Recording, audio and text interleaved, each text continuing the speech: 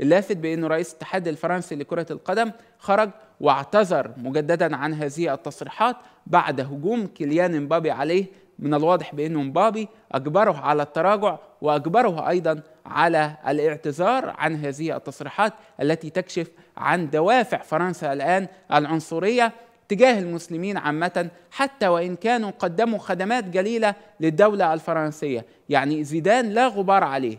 أحضر كأس العالم لأول مرة في تاريخ فرنسا في عام 1998 وكان قاب قوسين أو أدنى من الحصول على الكأس مرة أخرى في عام 2006 لكن لأنه مسلم لأنه أصوله جزائرية يتم التعامل معه بهذا الشكل العنصري المقيت. ما بالنا بالمواطن الفرنسي المسلم العادي الغير معروف الذي ليست لديه وسائل إعلامية يعبر بها عن رأيه.